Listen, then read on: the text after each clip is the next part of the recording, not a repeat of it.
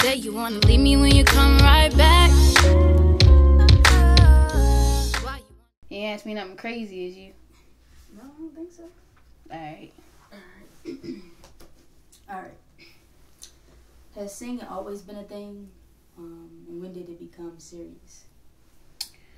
Um, at first I started writing. I was a writer first, and then I just started singing because I played piano and shit. So, yeah, I probably started singing when I was like 10, 11. All right, so you dropped 317 last year, hmm and you got 317 Reloaded coming. What is the importance of these dates? Well, I only made it 317 because I wanted everybody to know my birthday. And it's just that's just my my time to drop my music. Nobody else's time. Um, from what you have learned from life so far, what is one piece of advice you would give a young woman? Um to have the confidence in yourself. Like you shouldn't get it from nobody else. It should come from yourself. Cuz then otherwise you're going to be looking for other people's approval. And you don't need that. So, what's different from 317 and 317 Reloaded? it's just better. I'm just coming better. I want it to be like I want people to see the improvement from the first one to the second one. When 317 dropped, what was the like that one line from your project that everybody quoted or somebody said to you? Like people said to you multiple times when they see you. Why you want to leave me when you come right back? people say that all the time. How do you know when you're ready to put together a project? I don't. I just keep writing and then it just accumulates and then cuz I could have dropped something else but I just been lazy, but 317 is the day where I'm dropping stuff regardless. All right, give me three items that have to be in the studio while you're recording. My phone, Lacey, and I don't know. My phone, Lacey, and a good producer. What was your favorite song to create? Off 317. Mm-hmm. Mm, I would say my zone. Just because it's upbeat and, you know, like, females always write about, like, guys and being sad about stuff. Or relationships, and it's not talking about that. It's more upbeat. What corny thing or something you think is corny, but you love it? Instagram. Why you think Instagram corny? Because I be doing too much on there and I be corny with it. And people corny on there, but I'm addicted.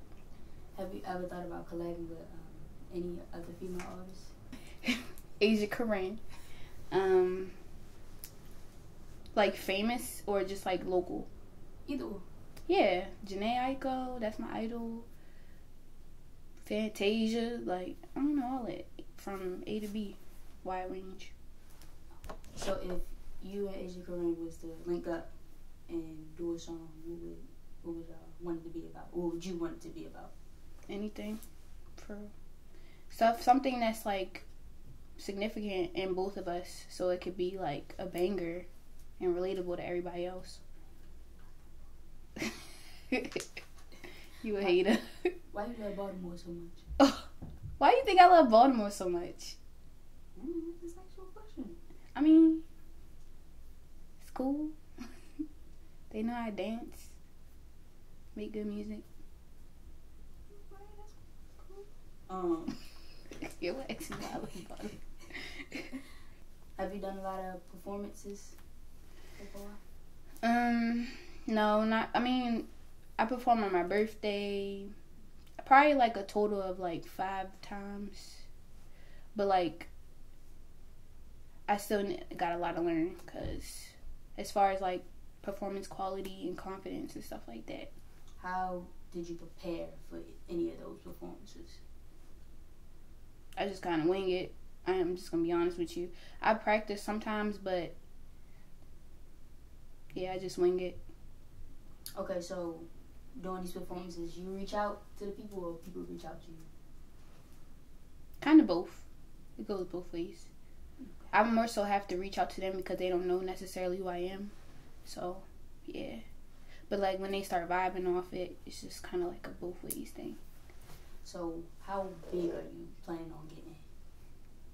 I want a big platform because it's not my only mission. Like, I want, you know, speak up about human rights, Black Lives Matter, stuff like that.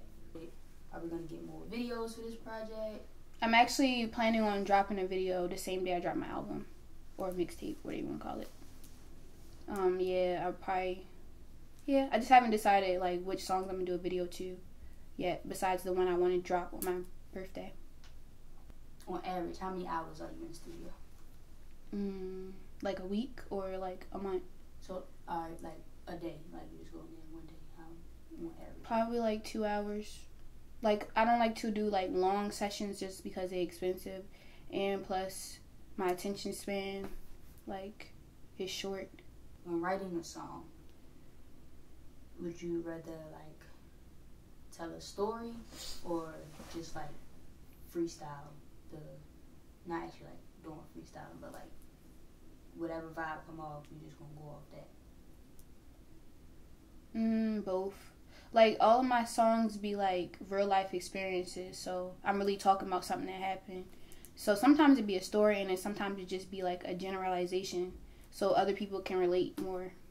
What's up, y'all? It's Nai. We just wrapped up an interview with Orange Pop. Follow me at underscore Moochie underscore on Instagram. We out. Yep, I didn't. Okay. I feel awkward doing this. Why? I don't know. All right, Oh, do that again. the whole thing. What's up, y'all? It's Nai. Um, fuck. Just wrapped up an interview with Orange Pop. Follow me at what's my shit? I don't want to do my social medias because it's different on every